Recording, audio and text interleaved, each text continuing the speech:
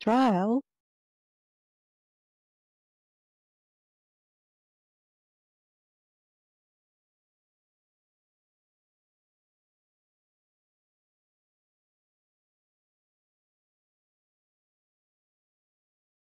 Hi all, this is Michael, just testing for interpreters to make sure you can hear the source clearly. Just let me know in your language chats that you can hear the source clearly. Testing one, two, one, two, just making sure the interpreters are clearly hearing the source. I can Awesome. hear properly. Awesome, thank you. There.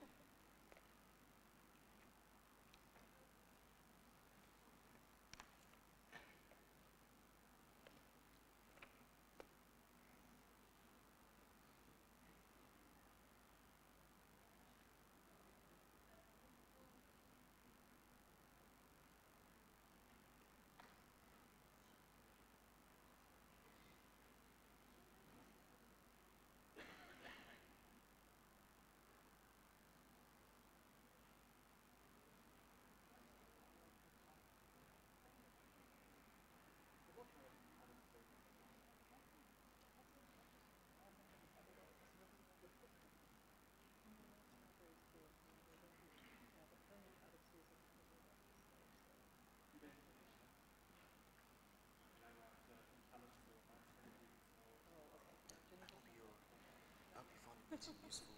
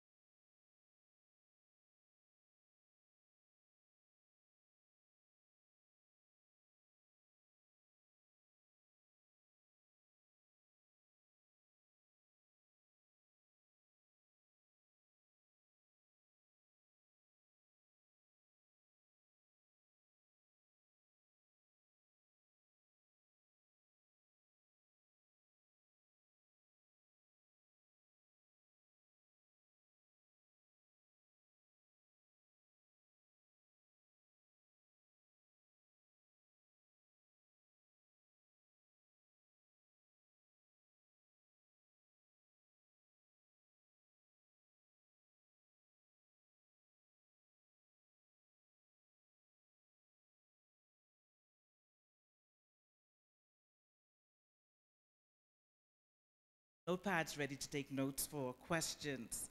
So today, we're going to look at governing data and protecting privacy, reality versus on paper, a deep dive into the data system. So we'll be looking at um, themes today from each one of our panelists. Things like privacy and protection from a, a multi-stakeholder perspective. What is being protected, people or data? What is the collective understanding of data? The opportunities and threats in the midst of deriving value, successes and setbacks of legal framework on the data ecosystem. We have put together a dynamic and exciting panel for you today. We have online Pilar Fajarnes, who is the lead author of UNCTAD Digital Economy Report 2021. She's, she has been working as Economic Affairs Officer at the Digital Economy Policy Research Section in the E-commerce and Digital Economy branch of the Division of Technology and Logistics at the UN Conference on Trade and Development. We have also joining us online is Arturo Muente Kunigami, modernization of the state lead specialist at the Inter-American Development Bank, currently working on digital government innovation projects and knowledge, coordinating the digital identity agenda and data policies for the public sector at the Inter-American Development Bank. We have with us Mr. Gbenga Sesan, who is the Executive Director of, of, of Paradigm Initiative, a pan-African social enterprise working on digital inclusion, digital rights. He's also a member of the UN's high-level um, leadership panel.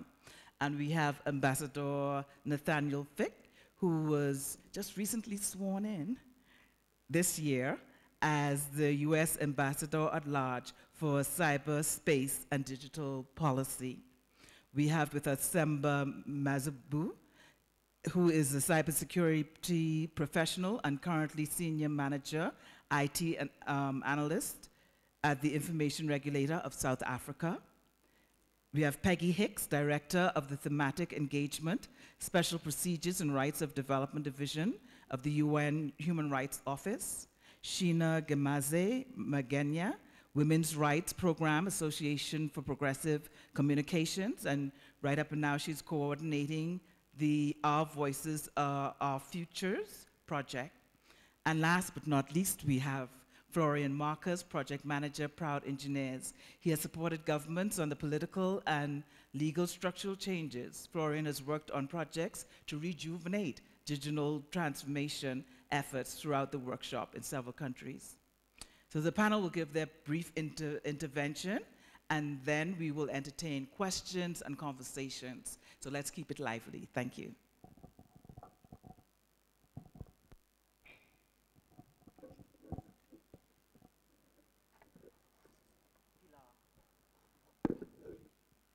Uh, we will now have Pilar.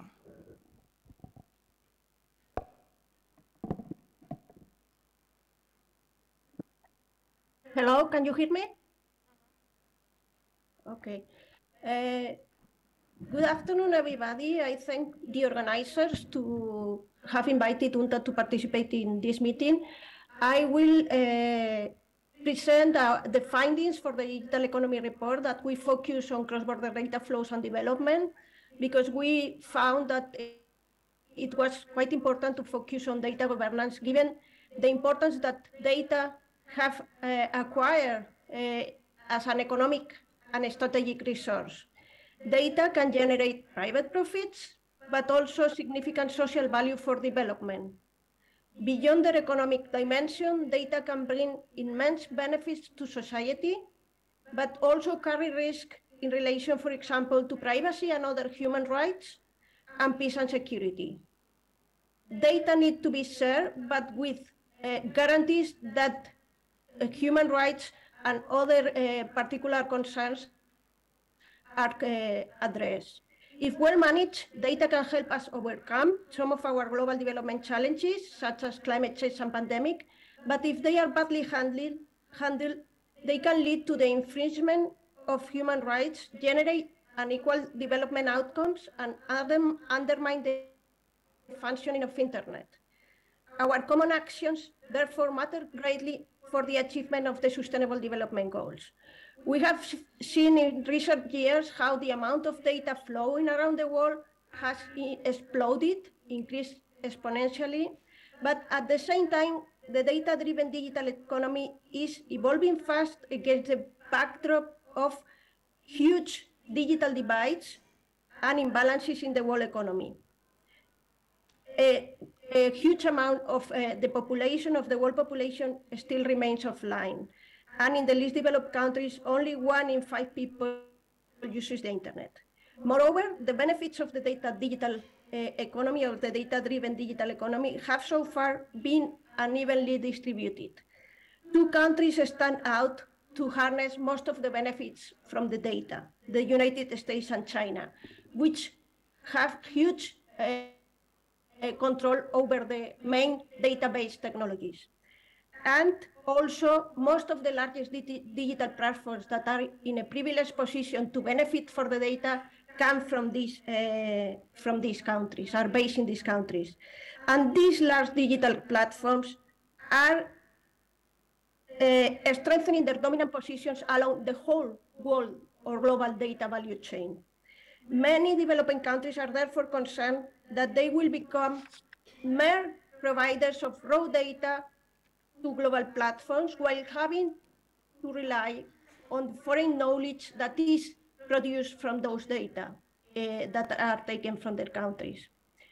At the same time, the global data governance landscape is highly fragmented. Governance approaches vary, vary among the main players in the digital economy. If we can uh, speak in a rough manner, uh, in the United States, the approach focuses on control of the data by the private sector. The Chinese model emphasizes, emphasizes the control of data by the government. And the, Euro- the European Union emphasizes control of data by individuals. And these approaches are also taken into the expansion to get more data in, uh, in the world economy. And the, this means that the current context is one of tensions among these realms, these data realms. What do we see with the current situation on the data governance is that this silo-oriented, data-driven digital economy goes against the original spirit of the internet as a free, decentralized, and open network. Fragmentation hampers technological progress, reduces competition, and opportunities for collaboration among jurisdictions. This is likely to have significant negative impacts for most developing countries. There are, uh, we have reviewed a number of national and international and regional agreements or regulatory frameworks in relation to data, but the conclusion that comes is that uh, the global uh, data governance landscape is a patchwork of national and regional and international rules that complicate uh, the relations in the digital economy. And uh, particularly, regional and international regulatory frameworks tend to be either too narrow in scope, for example, they focus only on the trade area or focus only on privacy, and they fail to look at the multidimensional uh, nature of data, or they are too, too limited geographically. And data are really a global challenge. They need to be addressed starting from the international level at different levels too.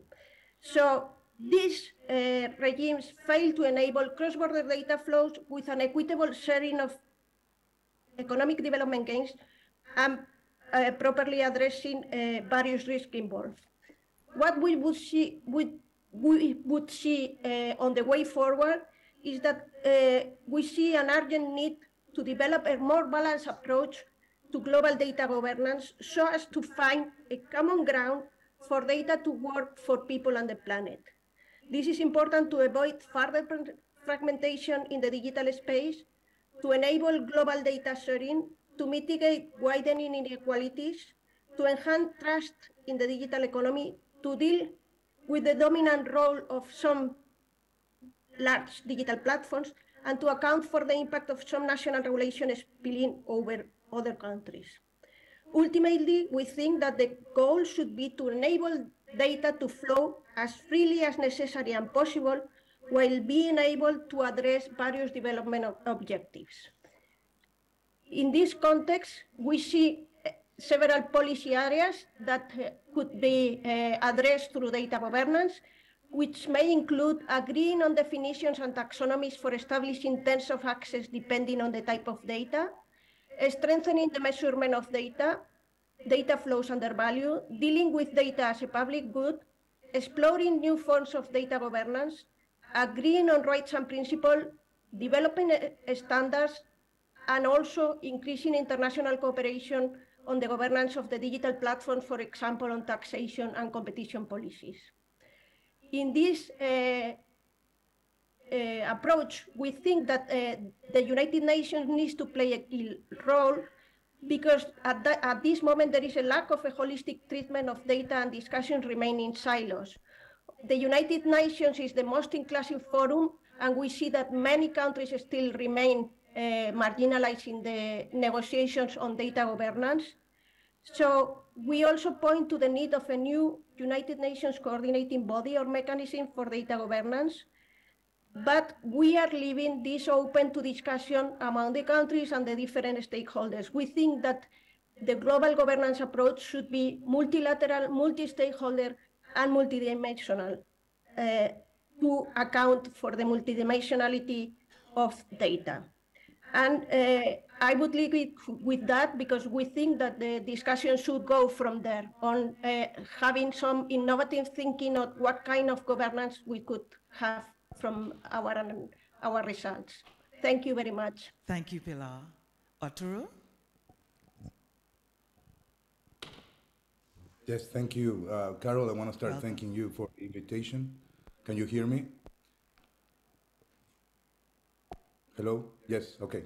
So uh, I'll jump straight to it. I have a couple of slides I want to share, and I hope I won't um, consume the time we have been allotted.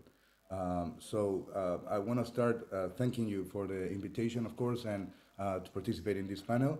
I'm going to share a little bit what we've done in Latin America and some of our, uh, at least, uh, lessons learned or recommendations um, that, that we're drawing from, from the work we're starting to do here. Um, so I want to start with this um, um, map I use uh, just to showcase what has been happening. I, I use it as a, visual prop, but basically what we are seeing is that these different um, agendas or topics that are related to data have been appearing and popping up, you know, uh, in response to different uh, um, uh, phenomena that we've been seeing.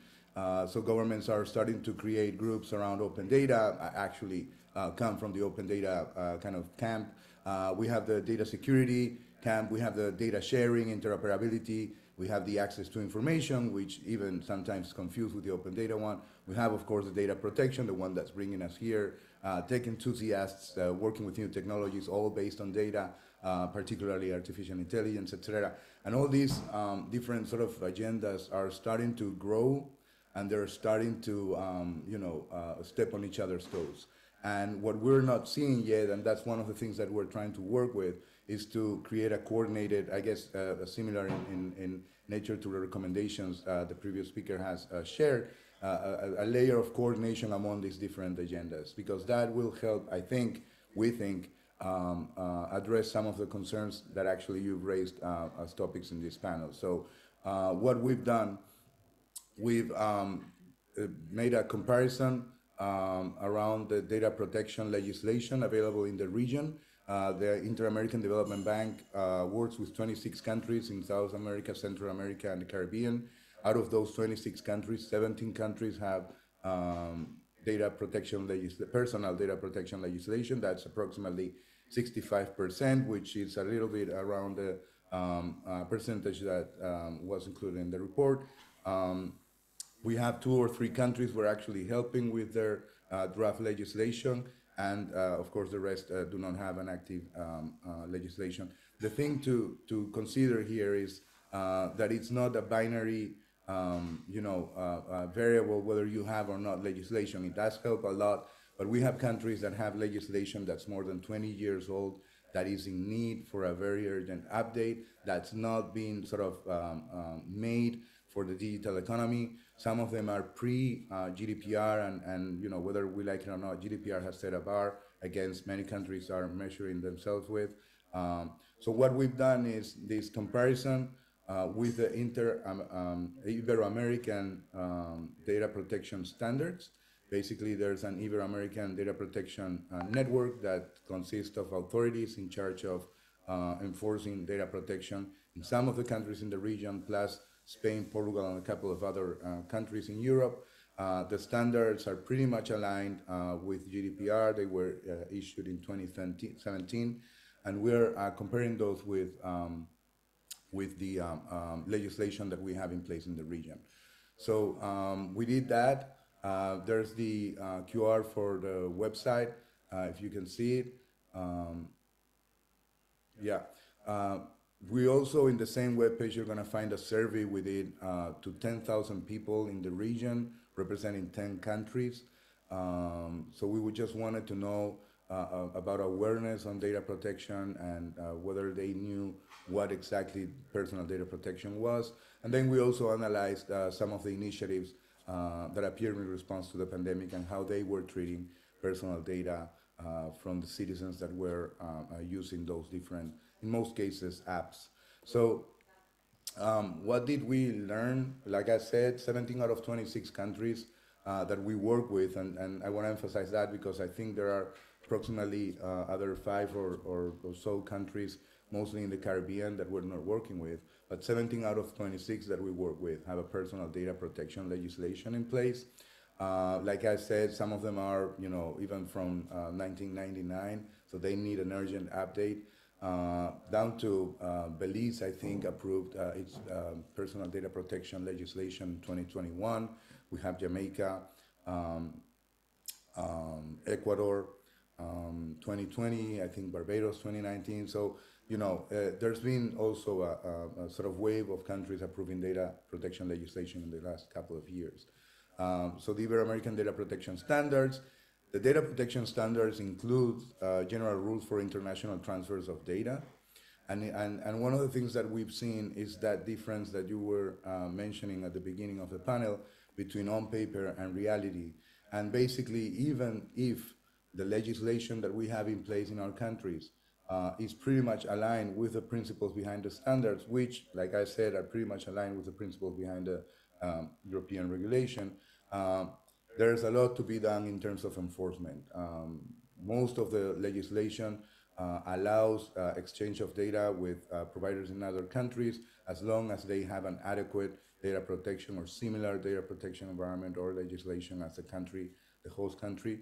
Uh, but who's defining adequacy? Who's vetting uh, whether those different providers, um, vendors, or countries' uh, data um, legislation uh, it's something that's left a little bit to the actual uh, company that's making the, or entity that's making the uh, um, data processing. Um, governments in some cases also have uh, uh, uh, trouble with using cloud services. There's one or two countries where they're actually decided that all information from government must be um, stored within the territory of the country. who enforces this legislation? How well is it done? And uh, as I mentioned at the beginning, what we are seeing overall is this need for a strong and coordinated institutional framework. Um, out of the 17 countries, and, and we need to also understand, like I said, that many of these legislations are relatively new, but I would say it's about eight to 10, including a couple of commissioners uh, in the Caribbean that are, have been actually um, um, created to enforce the legislation. There are some countries where, despite having the legal uh, framework, don't have an entity that's uh, in charge of enforcing. And even then, uh, there are like several layers, right? So you have the um, attributes that the law gives the entity, then you have the actual resources that the entity has. Uh, and one of those attributes, sorry, uh, going back about independence, about the capacity to um, uh, make decisions um, uh, independently, that has a collegi collegial um, um, um, um leadership. Uh, it's, it's something that we're also looking at. And also the uh, Toro, sorry, we're going to have to come back to you. So keep those thoughts. Thank you very much. Thank you. Just stay with us. Thanks. All right, thank you. Uh, Thank you, Atur. Uh, I'm sure we'll, we'll get back to you soon. I'll try to save some time so that. uh, so, when we talk about data governance and protecting privacy, one, one thing that comes to mind for me is, is trust. Because trust is at the center of all this. And unfortunately, whatever erodes trust, uh, violations erode trust, and whatever erodes trust as a community, we need to condemn. Uh, one number that comes to mind for me is 1.9 billion. That's the number of people who were cut off from the internet in the first half of 2022. Not unconnected, but disconnected by deliberate shutdowns, like the one going on in Tigray in Ethiopia right now. And I'm saying that because we're in Ethiopia discussing the internet. And I think it's important to have these conversations because we can keep talking about governance, we can keep talking about protecting privacy, but if we don't address the violations, we will keep eroding trust. And the people, the stakeholders we need to work with will know that we're just having a talk shop. And we'll have all, that all those conversations and leave the place and say, we'll see you again next year. And, and I think it's, it's really important uh, to talk about this. And, and that's, that's one of the reasons why, uh, you know, talking, talking about the, the region we're in today, which is, you know, which is Africa, we have a framework that, you know, has been in place since 2014, the Malabo Convention. And I think that a number of you know, sessions at this IGF has talked about it uh, and how, how worrying it is that we have only uh, eight you know, signatures so far. Uh, we need 15. Uh, you know, in one of the earlier panels, someone compared the number of signatures we have, which is eight, uh, to the number of countries on the continent, uh, over 50. and that, that points for me to how we prioritize. When we have conversations, we prioritize these topics, but when it comes to action, we don't prioritize them. And that's very worrying because if our talk and our action don't align, then we may as well just not waste our time to jump on planes and jump on Zoom to have these you know, conversations and invest time uh, in them. So, and having said this, uh, I know that you know, privacy and governance must definitely uh, be deliberate. When we talk about data governance, uh, there are institutions. There are many institutions involved. Thankfully, we are the IGF, which is multi-stakeholder. So there are many institutions. We've got academia, civil society, uh, government, the private sector. But one central institution that plays a prominent role in data governance um, are data protection authorities or whatever name you call them uh, in various constituencies. And this, you know, this, this DPAs, one of the things that in our own work at Paradigm Initiative, and we did a study of the last 20 years, uh, the, you know, the last 20 years of data protection uh, on the continent, looking specifically at 30 countries, uh, looking at those of them who got data protection laws uh, but don't have data protection authorities, those who have data protection laws and have data protection authorities. Uh, but one of the things that we found in our report is that as we have a lot more data, you know, mass data collection projects in many countries, unfortunately, we don't have legal frameworks to protect this. And, and that, that also erodes trust. And I can give many examples of many countries where people have to give biometric information to multiple government agencies, and there is no legal framework to protect that. One of the things you know, we found in the study is also the fact that you know, COVID uh, was a period where we really needed trust. Uh, and there was a lot of data collection, you know, for the purpose of fighting the virus, killing the virus, uh, and things like that. Uh, and hopefully WHO announces very soon that it's over. Uh, we're looking forward to that. Uh, but one of the things that we also saw and, you know, documented in the report is the fact that many governments, while, you know, investing heavily in data collection, have not invested equally in protecting the data. In fact, one of the major things that we found was that there were violations by agencies that were supposed to protect data. And that, of course, led to many scenarios where citizens refused, and then governments had to literally force them and say that, you know what, if you don't do this by this particular date, you're going to be cut off banking or you're going to be cut off, you know, certain services. And that, that you know, uh, is not where we're supposed to be. If we're talking about, you know, governance, if we're talking about protection, then we have to strengthen institutions. We saw uh, the needs are obvious, uh, identified a lot of gaps, but one of the beautiful things we saw across the 30 countries we looked at is the fact that all stakeholders uh, now understand the place of data and are willing to commit time and resources to working together. And I think this is the good news that I have uh, as far as data governance and, you know, and, and protecting privacy is concerned, that gone are the days where it was just the remit of maybe governments and DPAs to talk about this, but now, including users, all stakeholders are willing to chip in and get us to move forward because trust is at the center of all this and we all need to contribute to making sure that doesn't get eroded through violations and other things. Thank you. Thank you. Ambassador? Can you hear me? You're a very hard act to follow. That's uh, eloquent. I could listen all day. Um, thank you very much for, uh, for having me. It's a pleasure and an honor to be both at the IGF and on this important panel today. And I'm going to begin my remarks uh, with a short explanation of uh, how we at the U.S. Department of State view data privacy and data governance. So data protection is a key geopolitical issue central to our strategic interests. It's central to our efforts to promote meaningful connectivity uh, to an open, interoperable, secure, and reliable internet, and to a stable, stable cyberspace overall. I would be remiss uh, to take the floor today without commenting briefly on the importance of access to telecommunications, the internet, and digital technologies and promoting and protecting the exercise of human rights and fundamental freedoms in modern societies. Governments should facilitate that access and refrain from shutting down telecommunications and the internet to isolate regions and inhibit information and free expression online. And here in Ethiopia, we applaud the Pretoria Agreement and call on the government to restore full services, including internet access, to all areas affected by the conflict. Data governance and data privacy are central to this call uh, to uh, put forward a compelling and affirmative vision for the future of technology. And we seek to work with a community of like-minded partners to develop shared approaches uh, and to demonstrate that we can develop policy solutions that reflect our commitment to strong and effective privacy protections while simultaneously facilitating the cross-border data flows that open market-led economies and societies depend upon. So just with that as background, uh, let me lay out three underlying principles on privacy and data governance from our perspective.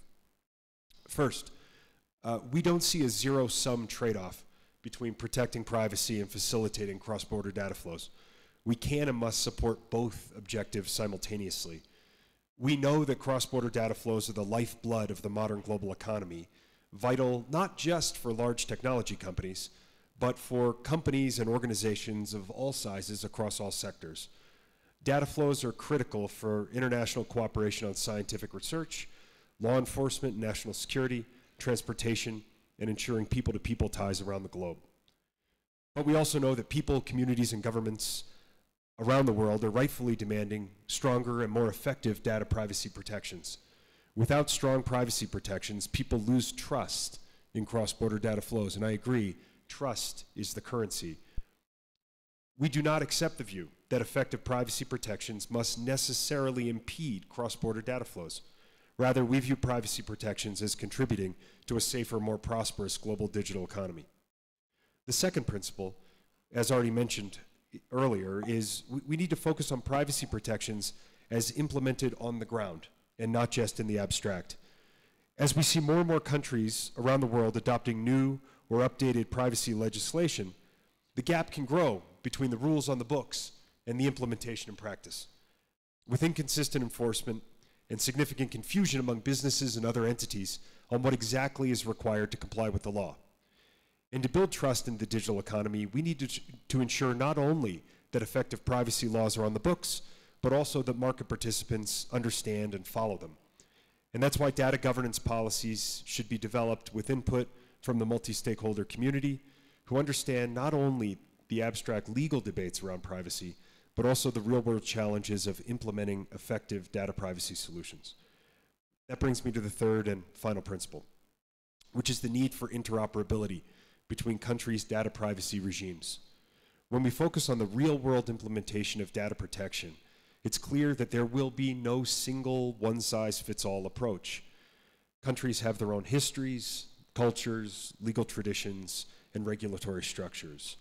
They will thus develop privacy protections consistent with their own local contexts and the need to protect human rights. As countries develop their own tailored approaches to data privacy, some level of consistency and interoperability between approaches is necessary to ensure that as data moves across borders, it ensures effective protections. So in closing, let me use this opportunity to highlight one such effort to promote interoperability about which the US is particularly excited, the Global Cross-Border Privacy Rules, or CBPR system. The CBPR system is based on a voluntary data privacy certification that helps companies demonstrate compliance with internationally recognized data privacy standards. The CBPR system was developed under APEC, but current CBPR member economies are launching a global CBPR forum to all jurisdictions that share its objectives and its purpose.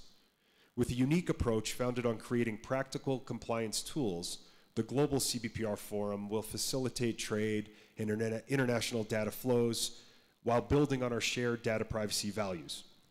To this end, we hope many economies, many countries will join the new forum, and that many companies will pursue CBPR certification.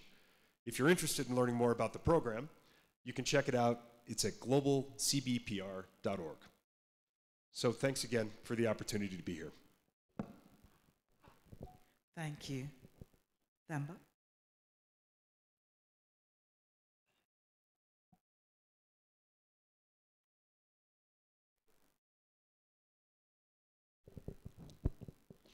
I think we're back.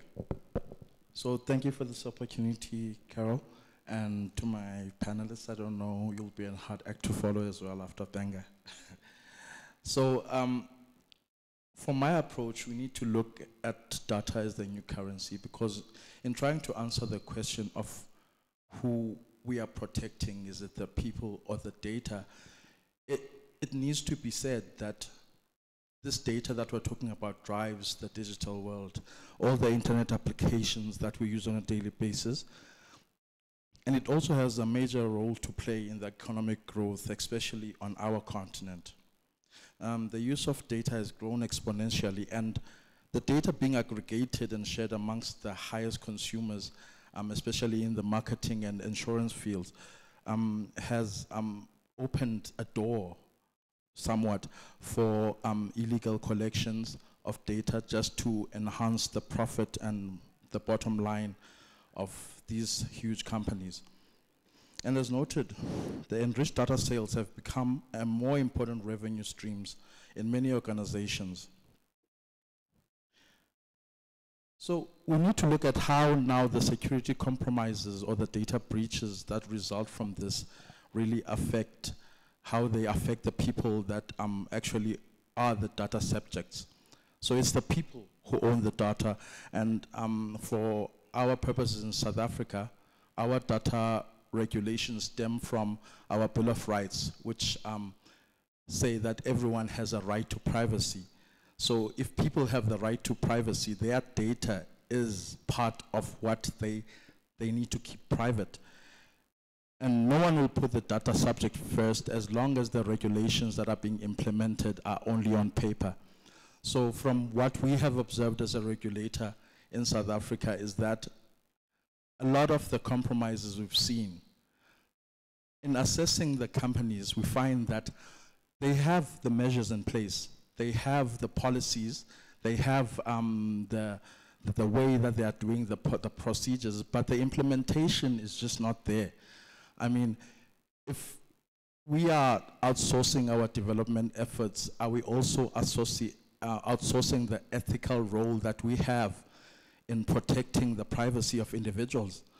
I, I think um, it's a very important question that we need to answer in terms of what is the broad spectrum of the ethics that we're talking about. Who, who do they depend on? Is it dependent on me who is making the profit, or is it dependent on the right thing to do? Um, so, in I'm sorry about that. Um, so in implementing um, privacy by design in systems, for instance, we need to be able to monitor the, the people who are actually um, implementing um, this, these designs. What happens when the privacy rights of the individual, which could be boosted by adding encryption, clash with the developer's mandate to achieve low latency on the system? So we want faster systems, but we know that um, by adding encryption, um, we will lose a lot of time in processing. So the inability to deliver bad news to management as well, especially if it affects the bottom line, is an indication of how we see this disjoint between the security measures on paper and the se- actual security implementations on live systems. So we, need, we do need a global framework. I know that there is a lot of cultural differences, a lot of um, differences within countries in terms of their regulations. But in order for us to facilitate the, the cross-border data flows, we do need an equal playing field in terms of the data privacy regulations. That said, these privacy regulations should be aligned with each other if we are to achieve a situation where we can continue to use the data to grow the economies that are desperately in need of the opportunities that come with information processing. So, um, in saving time and ensuring that we can have more discussions later, I will pass on to uh, my next colleague. Thank you so much. Happy to be here with you and I'm really looking forward to picking up a number of the great points that have been made so far.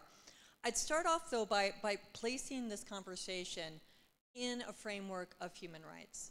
Um, we are talking about data protection and data privacy not as a matter of convenience or as a good practice, but because people have a right to privacy. Um, and the, in fact, data protection affects a broad range of other rights.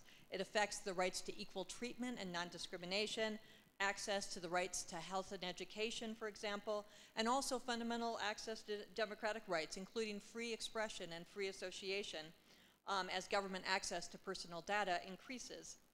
Um, I'd also underline the points made by my colleagues on internet access and how while we, we look at the right side of this, we also know that the data uh, flow and, and, data as a currency, as, as has been said, is, is essential. And so we agree entirely with the need to end internet shutdowns in this context.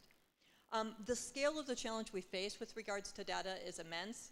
Uh, social media and search engines' uh, main source of information, of course, and income uh, stems from tracking-based advertising, relying on collection and monetization of massive amounts of data.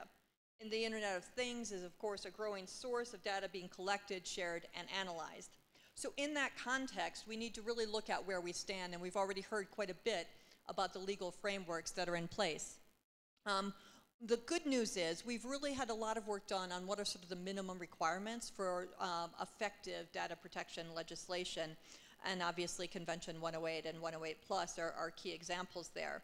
Um, our office did a report on the right to privacy in 2018 that really po pointed to the key elements of that legislation. You know, requirements such as having a legal basis for processing data, the necessity and proportionality of processing data, a point that Pilar made as well, having a well-defined purpose within that legislation, and important points around the limited scope, duration of data retention and processing, data accuracy, data security and adequate security measures, the range of data subjects that are involved, and the obligations of entities processing data and the institutional safeguards that exist. Fundamentally, and this is a point that others have raised as well, it comes back to the role of independent oversight bodies for these activities as well, and not only creating those bodies, but resourcing them in a way that they can do those jobs effectively.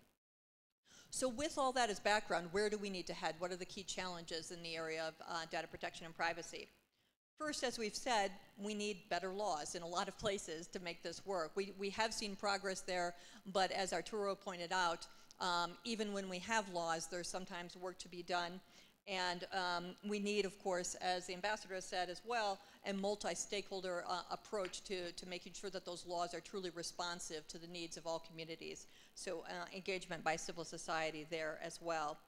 Um, we also wanted to point out that um, one of the key flaws in some of the existing legislation is an absence of or weak uh, requirements for handling of data by public authorities.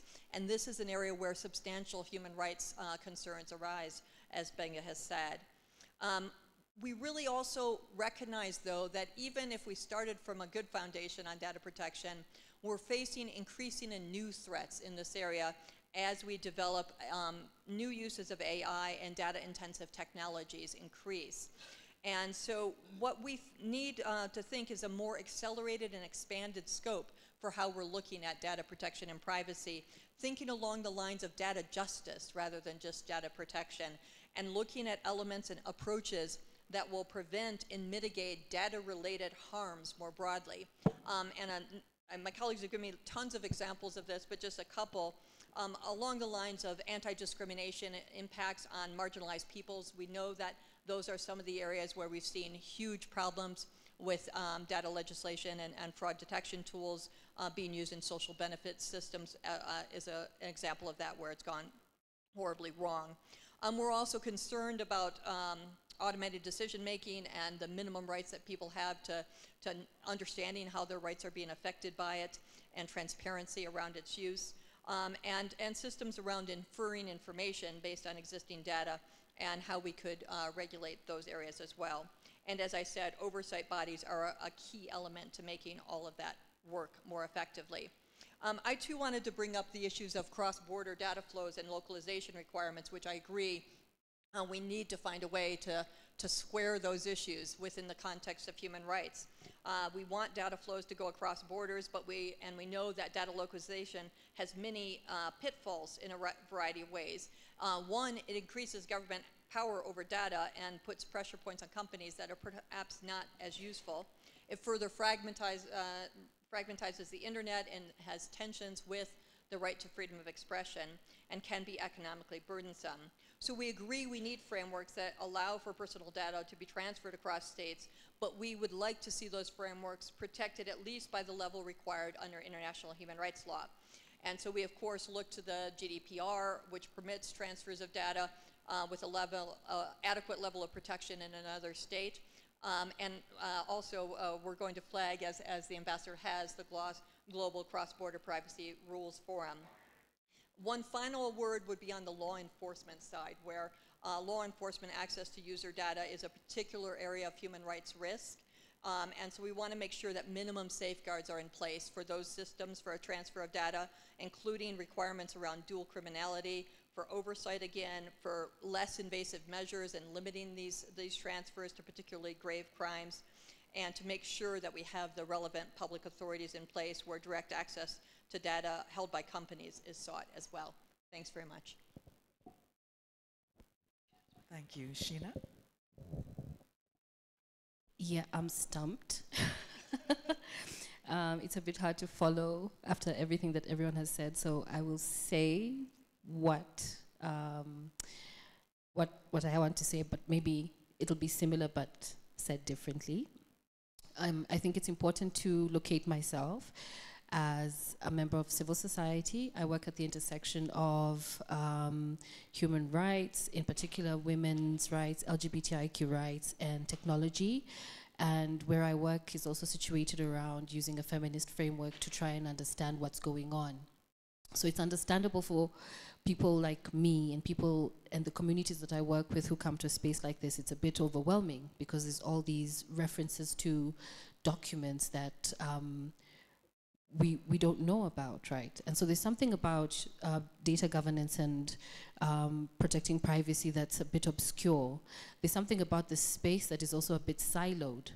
Um, and I really like what you said about how we cannot look at the work of data governance and uh, protecting privacy in isolation as its own little space that's located around technology. Because when we do ask for data protection laws to be instituted in countries and states and contexts where there are already existing laws that are not being respected, it creates an issue of what Gbenga said, trust. So when you say that you want to put in place better laws when the already existing laws are not being respected, um, we, the civil society, are scared. We just think that it's going to be another law that's going to come and seek us out, especially if you are a decriminalized identity if you um, work in a criminalized um, uh, la labor, if your labor is criminalized, for example. Um, when the government comes and says, and often by force, there's the option of choice never exists in a lot of these kinds of spaces.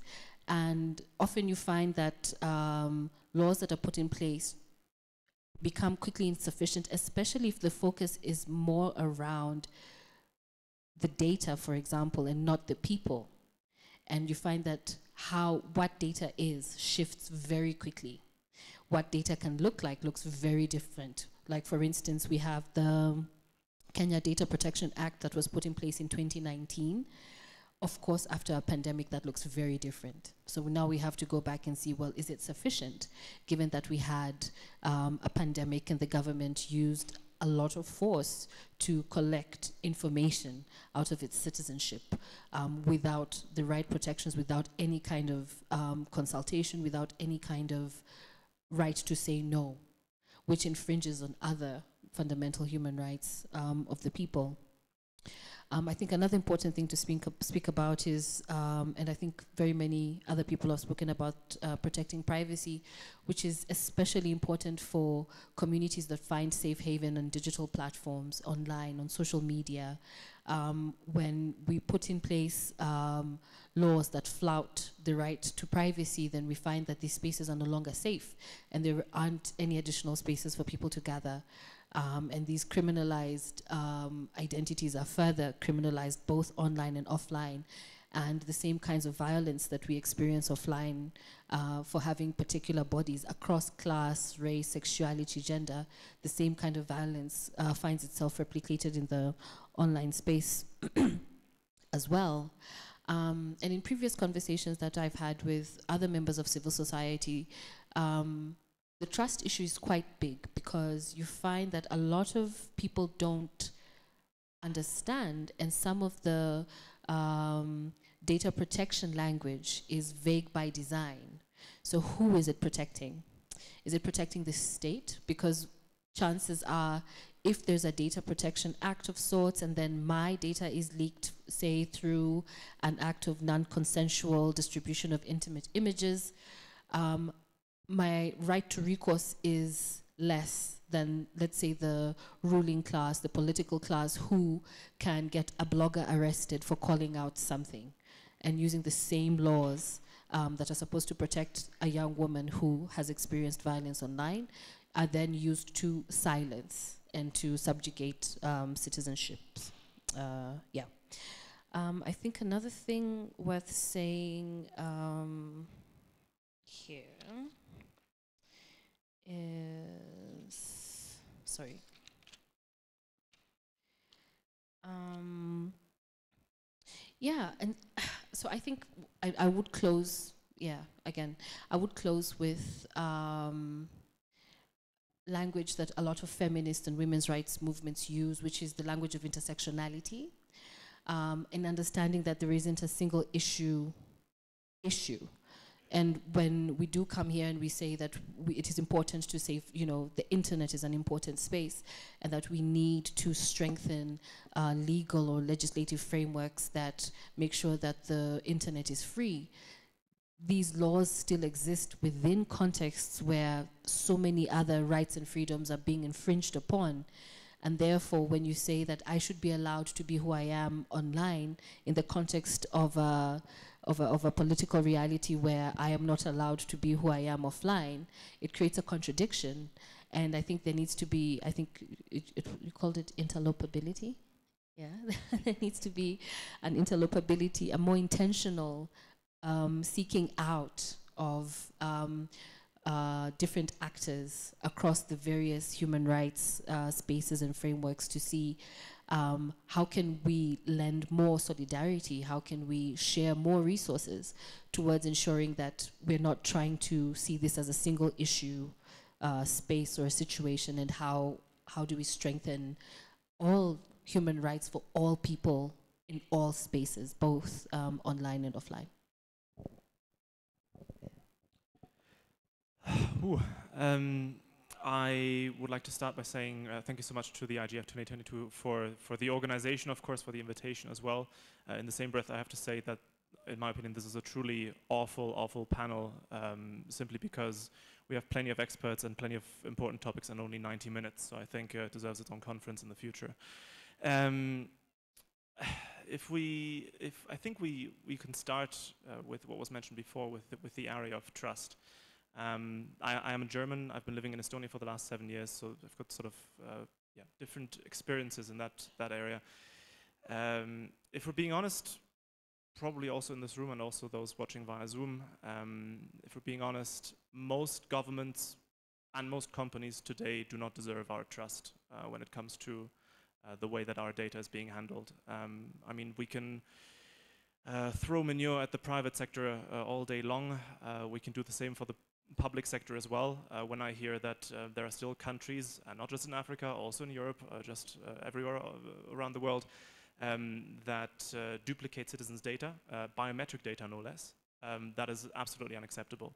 And this sort of brings me to, to the two points that I want to come to which were also mentioned uh, by, by Carol at the introduction. Um, what is the what is the on paper situation and what is the the real life situation? Um, well, the first thing that we have to do is fix the on paper situation. Do you have something like the GDPR, some kind of data protection regulation? Um, the answer for many countries is uh, yes, not all, but we're getting there. Um, but I also heard the previous uh, panelists discuss already about the um, the desirability, perhaps, of a, of a global framework of recommendations for privacy. I want to, um, I don't want to shut the lid on that, uh, but I, I, I, definitely want to put a damper on this because, um, you know, looking at the EU, where we do have a GDPR uh, with 27 member states that have signed up to it, um, I can tell you that we're not all following the GDPR in the same way. Um, and that is not because uh, one country is, is super smart and one country is uh, really rude. It's, it's just because due to different cultures, uh, we have very different interpretations of the same legislation. So even if we have a globally agreed upon framework, which will not happen, we will not come to an agreement there. But even if we did, we would not execute that framework in the same way. Um, very, very simple baseline example. Uh, in Estonia, we've got uh, multi-story car parks with the tiny barriers in front, and they can read your license plate. Estonia is not the only country in the world that does that. Perfectly fine. In Germany, for the longest time, that was illegal because of GDPR concerns. And so Estonians were saying, you know, uh, we've got the GDPR, so why can we make these barriers work with the license plate recognition and why can't you?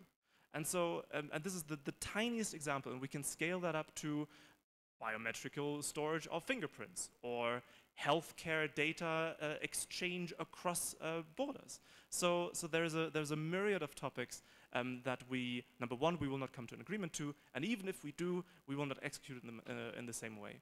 Um, perhaps I would want to finish on, on one point uh, about uh, data privacy and governance um, from, from Estonia. Uh, number one on paper, number two in practice. Um, in Estonia, we have something called the once only policy. A very simple rule says that across all the different government agencies, only one government authority can store a particular point of data. So, um, if the population registry has stored your data, because that's, you know, they're the ones responsible for that, the other agencies cannot ask you for the same data point. They have to ask from that authority. Boom, done. And the second point um, is not just about privacy uh, sort of um, Uh, enforcement, but also about the uh, how realizable is it per se, how, from, from the citizen's point of view? In Estonia, as an example, there is a, uh, there's a, a, sort of data tracker where I can see every single time uh, where the government looked at my data, when and why. And based on that, I can then head to the data protection inspector. So it's very well that we have a, a myriad of, of, of, DPAs around the world uh, that have some kind of enforcement capability. Um, but the question is, are citizens actually aware of their rights being uh, you know, infringed upon? And so I think this is something that we also have to deal with. Thanks so much. Thank you. Um, I told you we had an exciting panel, and I think that they've given you a lot of food for thought, and I'm sure we have some questions. Uh, Peace, anything online for us today? Peace? Okay, um, whilst Peace is looking, we have a few, we have quite a lot here, so we're going to start with the gentleman at the back and we're going to quickly make our way over. So we're going to ask you, please, don't give us multiple questions in one. So just give us one question, not with a hundred parts. So thank you. Gentlemen at the back. Identify yourself, please, if you wish. Okay.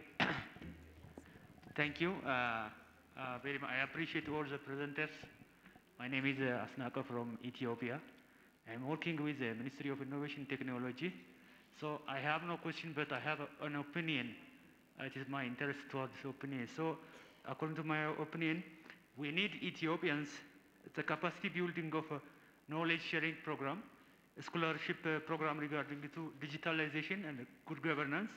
And we need collaboration, cooperation and coordination and multi-stakeholder capabilities in Ethiopia. So I will appreciate if you have uh, any kind of MOU uh, regarding to your interest. So we are open to our office and we'll, you welcome. So uh, young researchers must be, you know, uh, advocated in different sector of research, technology, innovation. So uh, young uh, youngsters and children must be, you know, advocate or encourage uh, regarding to innovation and technology in Ethiopia. So if you have interest, we collaborate in, in terms of technology, innovation, and project and other, uh, other, other interests. Thank you very much. Thank you. Okay, so at the front here, and then we've got to move to the back. Go ahead, sir. Okay, thank you, thank you. Uh, I'm from Senegal. My name is Ndiaga from Civil Society Organization. Uh, I, I like to make a comment on data protection on, in Africa. Please give me a couple of minutes.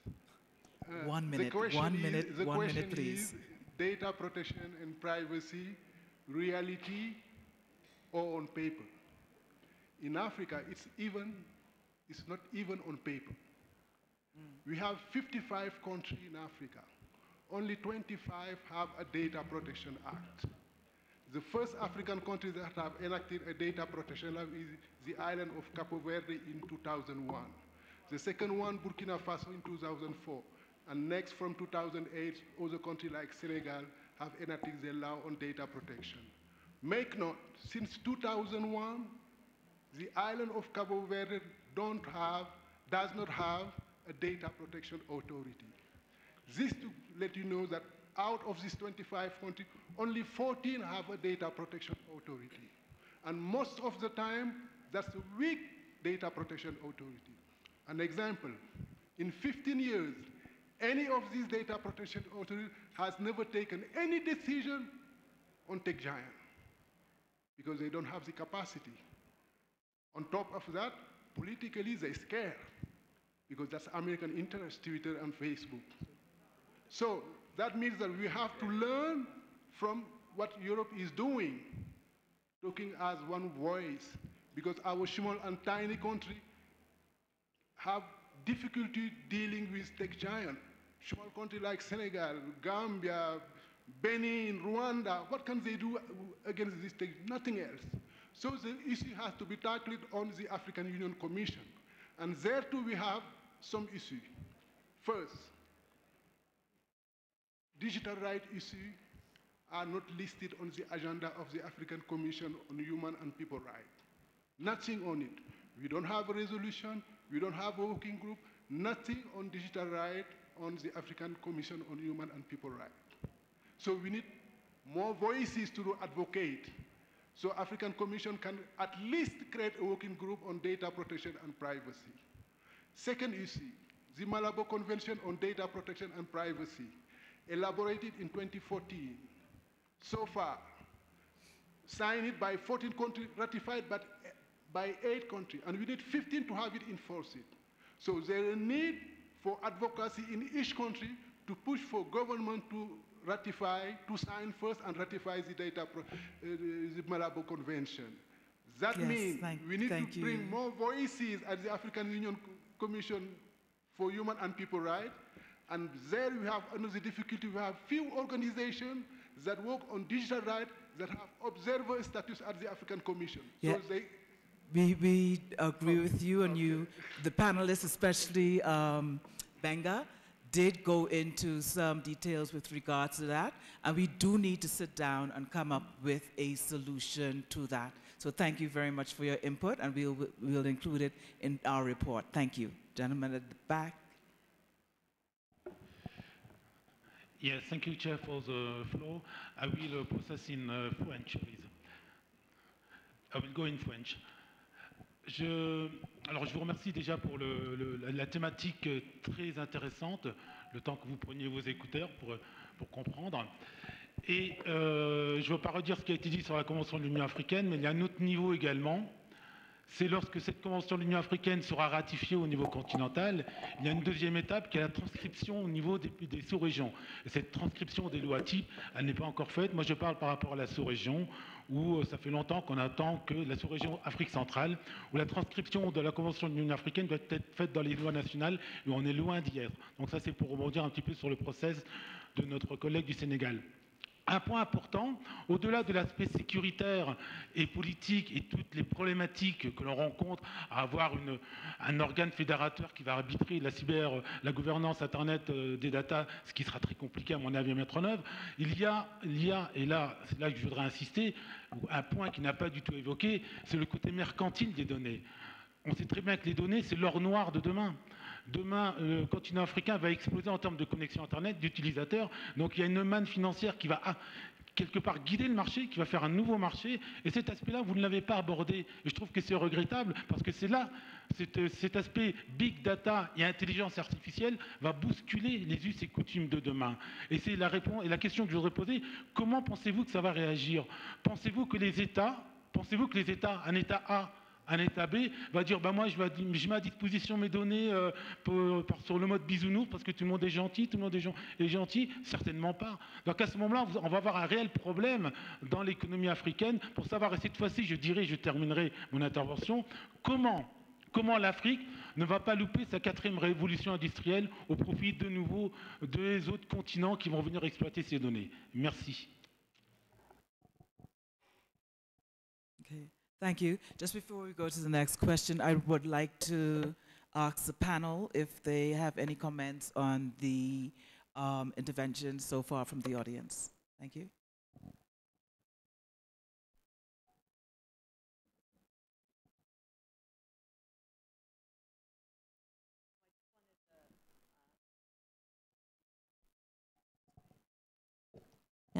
Yeah, I just wanted to thank the, the, the comments on uh, the African perspective.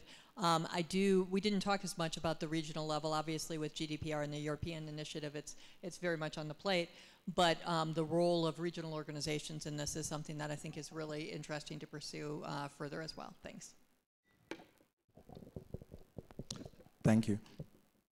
Um, I just have um, a supporting comment to Ndiaga's um, comments in terms of um, the laws that we have and the regulations and how difficult it is really to implement it against the big tech giants. I mean, there is no real physical address where we can deliver a notice in South Africa for, for Meta, for example.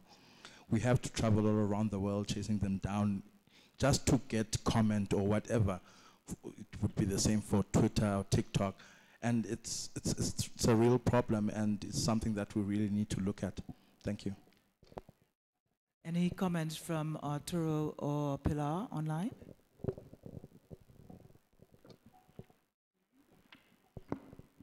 Yeah, thank you.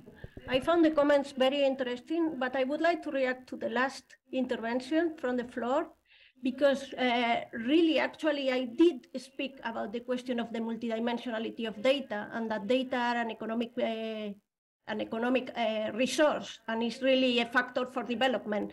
So that's why uh, we are uh, really uh, focusing on the on the report and on our analysis. In the multidimensionality of data, we have to look at data as an economic resource, and also the non-economic dimensions of data that we have discussed here in depth, also the human rights. And that's why there is a need of, to have a holistic view in relation to data governance, because data are more than an economic resource and more than a human rights. They are really involving many dimensions. Thank you. Okay, we're going to move to the middle panel, then here, and then we're going to come back. Remember, please, there are lots of hands, lots of questions. Anything online for us as yet? Um, okay, we're going to take one online, and then we go to middle, and then this side, and then back here. So please keep it short, exciting topics. Thank you very much. Okay, thank you, Cairo. We have uh, one online question. Uh, the, the, the, the participant is ask, is wondering if there isn't time to form a legally binding framework for cross-border data governance within the United Nations to prevent strategic misuse of data, national big data uh, from countries, and is wondering if this framework could be, this kind of framework could help digital trust and transparency at the international level and could help the formation of an accountable framework. So it's basically asking her about the cross-border data transfer. Thank you.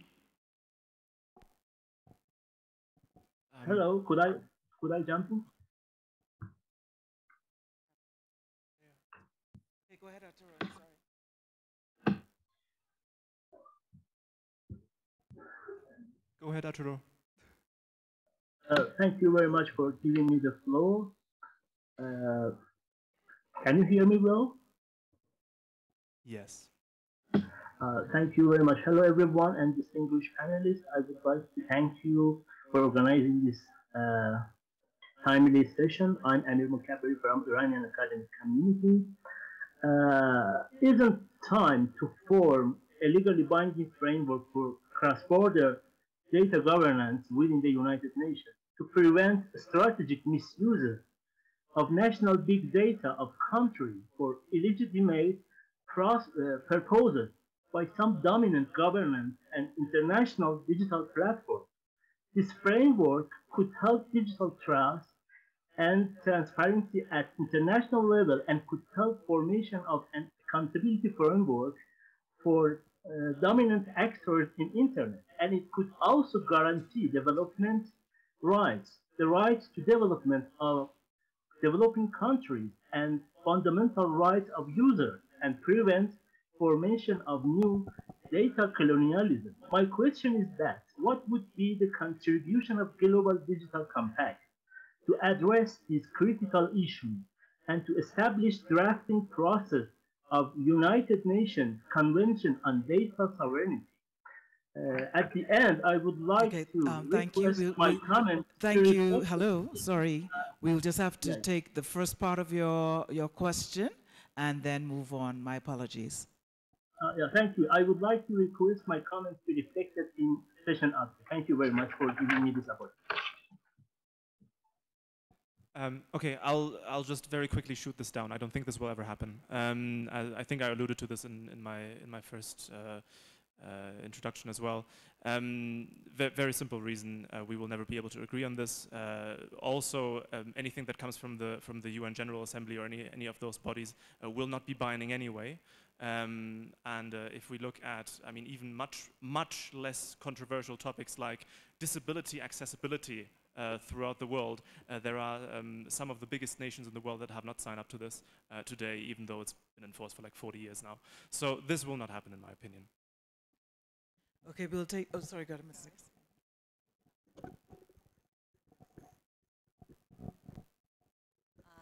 just wanted to add there, I, I'm not disputing whether or not a, a legally binding treaty is achievable, but I think the point was also around the need for uh, global, you know, a global look at these issues, and especially given cross-border transfers, I think that makes sense. I mean, um, and we heard so many of, of the comments talking about the need for uh, approaches that take into account local context, but there are fundamental principles in human rights at stake where the idea of having um, set principles that we want incorporated into laws and, and making those principles clearly articulated at a global level, I think can be very influential in making sure that we have the right types of data protection in, you know, across the globe from region to region and coherence across those um, approaches as well. So um, I agree, uh, probably not the time to push for the legally binding treaty, but uh, I, I do think that there is room to continue work on uh, global uh, key principles that, that can be agreed and, and used in, in data protection legislation and for oversight and other mechanisms of that sort.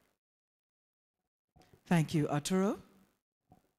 Yes, I know. I, I wanted to say something pretty similar. It's that we may not be able to have binding instruments, but frameworks, uh, agreements.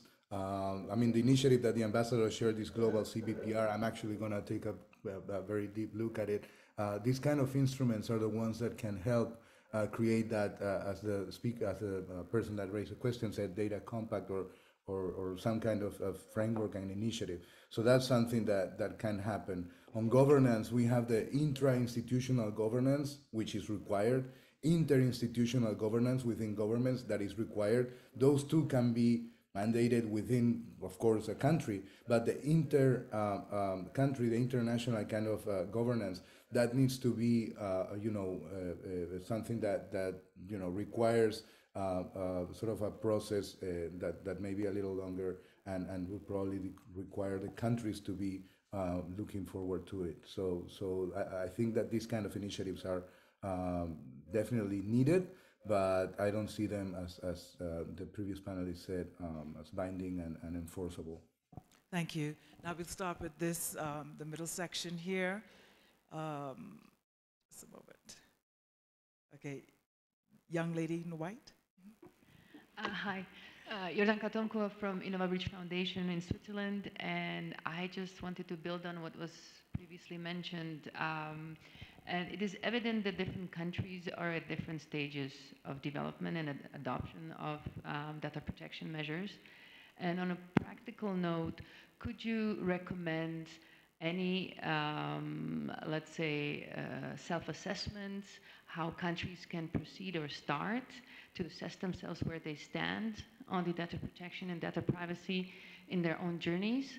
Uh, I know that, for example, EU has the G GDPR checklist for self-assessment, and I think that will be really useful if you know of any other resources that countries could use to self-assess and start to look at the issue in a more sort of standardized way. Thanks. I think that's a, a good request. So if anybody knows of any toolkits that persons can use to make assessments on the panel?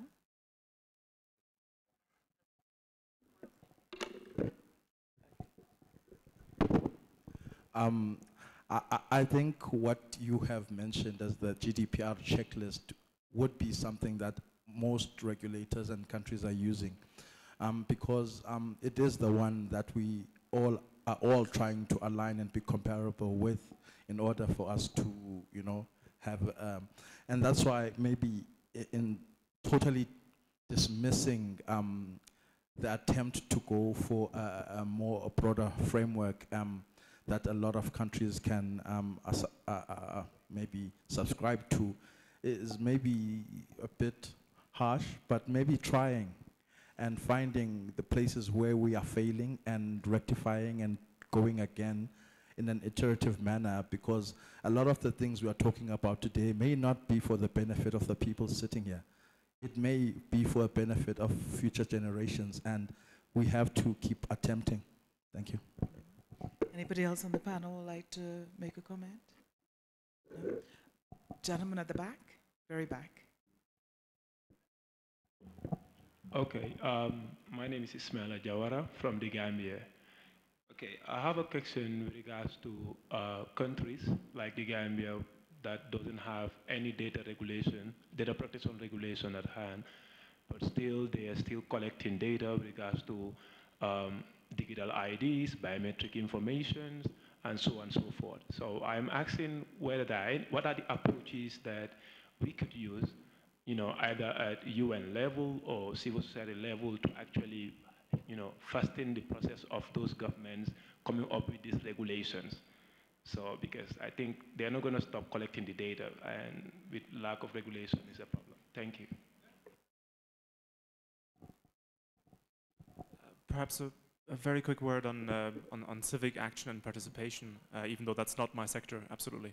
Um, what I've, what I've seen in, in the past uh, around the world is that um, in election time, uh, we all vote on taxes or education uh, or on defense policy or anything like that. And perhaps we should rather consider the digital angle uh, of all of these different topics. Um, so uh, one of the things that, that I would encourage you and everyone else in the room to do, myself very much included, um, next time that we go to the polling station, um, we, we think not just about specialist topics, but also about the digital implications. And if you feel like there is a political party or anything like that, or a movement that, uh, that drives data protection and privacy more strongly than others, uh, then that might very well be one support, uh, worth supporting. Gbenga and then Peggy.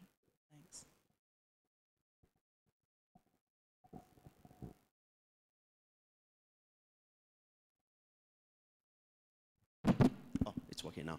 Uh, so just reacting to, to Gambia, I think there are two you know, key things I want to say. Number one is, uh, and I hope you're aware, there's an ongoing process. Uh, the reality is that there are governments who deliberately do not prioritize data protection uh, because what that means is then they are admitting that many of the processes they instituted become illegal. Uh, I mean, I've given many examples. I, I gave some examples uh, earlier, and there's so many examples in the report we put together. At least 11 countries uh, where they do know that the mass biometric data collection is illegal. I mean, it's not proportionate, it's not legal, it's not necessary. So there's no incentive to put together, you know, legislation to call themselves criminals. I mean, why would you want to do that? Uh, that's one. But the second thing is, I think uh, you as a citizen regardless of the sector you're in, you need to hook up with other people in the country, and I'm not speaking just of Gambia now. It is our responsibility as data owners to push back. Um, you know, this is why I, I say that, uh, you know, we're gonna, it's going to get more complex. We're going to gather more data. We're talking AI. We're, we do not even know what we're, we're going to talk about next, right? We're going to get more data, and we need to push back and ask for data minimalization. We need to stop giving data that is not necessary. Some of it would mean that you have to ask more questions, uh, but I would encourage that please, you know, uh, link up with other people in, in the Gambia, specifically since you asked, who are working, uh, Give One Project and others who are working, Paradigm Initiative, who are working on that, you know, uh, data protection so that the process can move on and we need to make it obvious uh, to governments why this is also a win for them. Uh, you know, politicians will do the things that would help them win the next election, and you have that opportunity in the Gambia, particularly.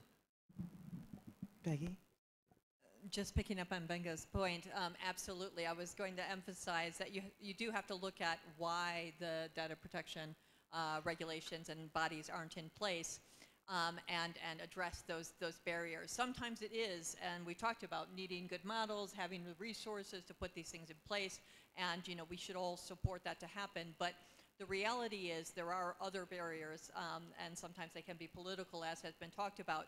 But I want to emphasize that even when national laws aren't in place, international human rights obligations still apply.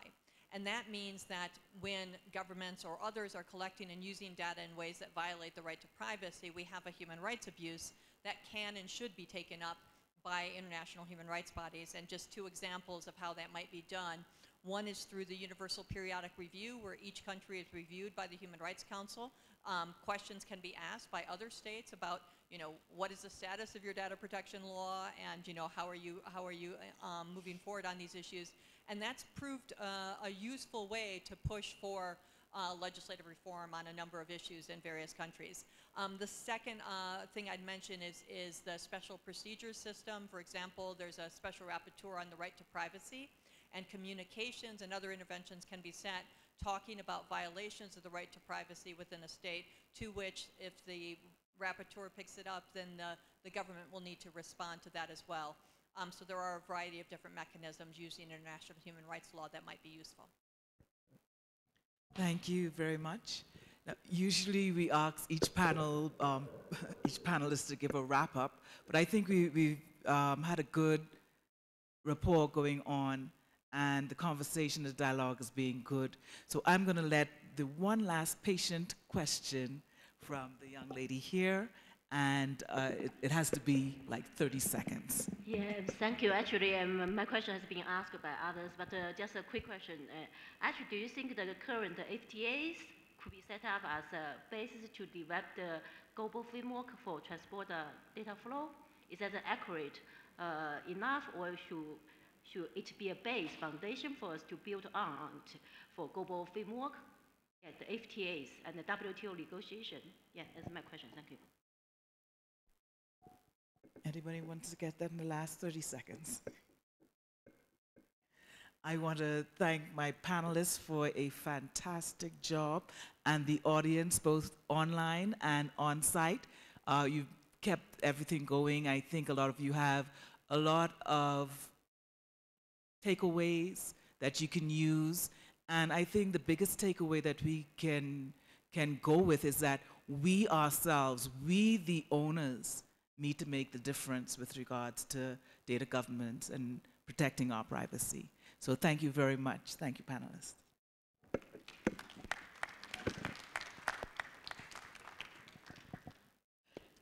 picture. Um, can we have the online persons just stay on so we can take a picture? Thank you very much, Bilal.